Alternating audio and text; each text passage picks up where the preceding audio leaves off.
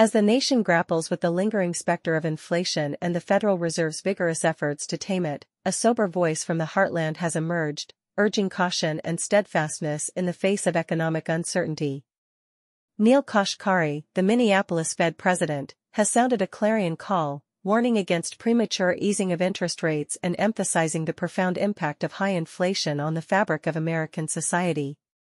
In a recent interview with the Financial Times podcast The Economics Show, Kashkari offered a candid assessment of the economic landscape, tempering optimism with a dose of hard-nosed realism. His words carry the weight of a seasoned observer, one who has witnessed firsthand the toll that inflationary pressures can exact on businesses, workers, and the broader populace. At the crux of Kashkari's message lies a stark truth, Despite the outward signs of strength in the U.S. economy, robust employment figures and a resilient labor market, the scourge of inflation has cast a pall over the nation's prosperity. The economy is, in the U.S., quite strong, the labor market is strong, inflation is coming down and many, many people are deeply unhappy about the status of the economy, he remarked, attributing this dissonance to the high inflation that they've experienced. Kashkari's assessment is rooted in his intimate interactions with the very fabric of American enterprise, small businesses, labor groups, and workers. Through these encounters, he has gleaned a profound understanding of the visceral hatred that Americans harbor towards high inflation. In a poignant anecdote, he recounted the words of a labor leader, who conveyed the stark reality that during inflationary periods, there is no refuge, no supportive network to lean on, as everyone grapples with the same financial strain. This sentiment resonates deeply, for it underscores the insidious nature of inflation, which erodes purchasing power, diminishes savings, and casts a shadow over financial security. In Kashkari's view, the Federal Reserve's commitment to subduing inflation is not merely an economic imperative, but a moral imperative, a duty to safeguard the foundations of prosperity that have underpinned America's economic success for decades.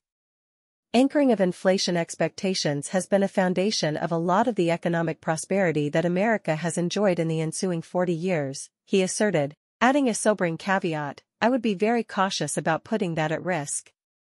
Kashkari's clarion call for patience and perseverance in the face of inflationary pressures is not merely a matter of economic policy, it is a rallying cry to preserve the hard-won gains of financial stability and the promise of upward mobility that has been a hallmark of the American dream. As the Federal Reserve deliberates its next move, with expectations of a pause in interest rate hikes at the upcoming June meeting, Kashkari's voice carries the weight of experience and a deep understanding of the human toll of economic instability. Right now, my best guess is we would leave rates here for an extended period of time until we get a lot more data to convince us, one way or the other, is underlying inflation really on its way down, he stated, underscoring the need for vigilance and data-driven decision-making. In an era where political expediency often overshadows long-term considerations, Kashkari's words serve as a timely reminder of the fundamental role of the Federal Reserve to safeguard the nation's economic well-being, even in the face of short-term discomfort.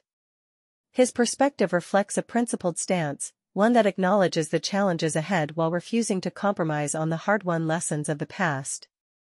As the nation charts its course through the turbulent waters of economic uncertainty, Kashkari's voice offers a steady compass, guiding policymakers and the public alike towards a path of prudence and perseverance.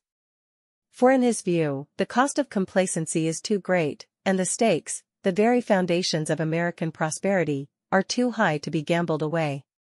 In the annals of economic history, Kashkari's words may well echo as a clarion call for steadfastness, a reminder that the pursuit of financial stability is not merely a matter of statistics and projections, but a commitment to upholding the aspirations of a nation and the well-being of its people.